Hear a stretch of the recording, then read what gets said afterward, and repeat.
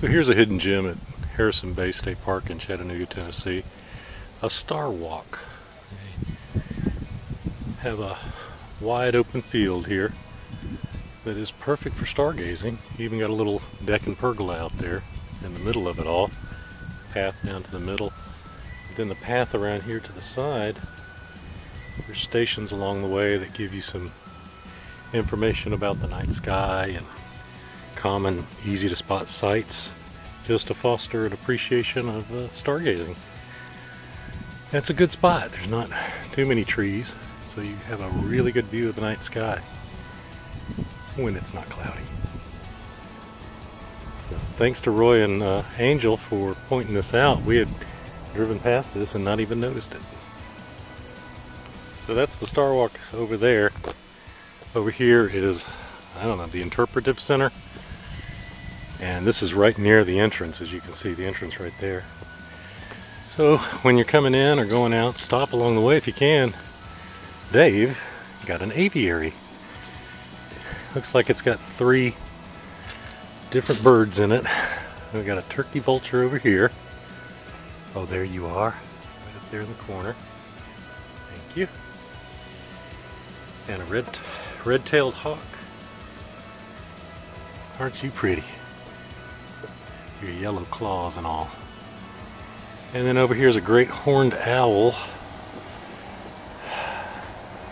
Looks like she is up in her box there. Kind of hard to see.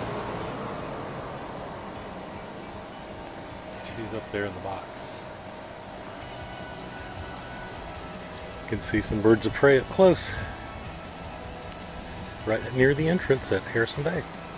So there's basically two roads in the campground. You really can't get lost. The main road comes in and goes straight down to the camping area. And then this road comes left just as you come in the entrance and takes you down to the marina. So it's a very large marina and looks like it has a lot of permanent residents or at least a lot of permanent boats docked here. Houseboats, sailboats, all descriptions. Now you can put in up on the highway, on Highway 58, just a few miles from here, but uh, coming down here is kind of neat. And then the road splits again, as you can see. There's a restaurant down here. We have not tried it. It'd be interesting to give that a looky-loo. And boat ramp and all of that is to the left. And then there's a pier for fishing and some picnic tables and whatnot down this direction. You also go this direction to the right and just around a few curves in the road it backs up to campground B with a little cut through, a little path that you can get in to campground B which is where we're staying this time. So I'm gonna head this way and go back to base. Set a spell. I've come down to the pier instead. More marina that restaurant over there. Looks like they're open. Lights are on. And that is picnic and day use, it looks like over there, yeah. Campground C, Charlie, and B is over here. You can see the tent.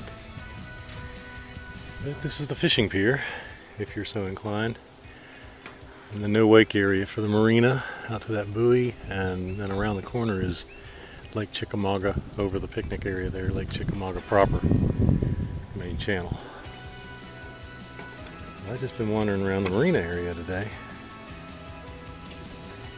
Beautiful October day.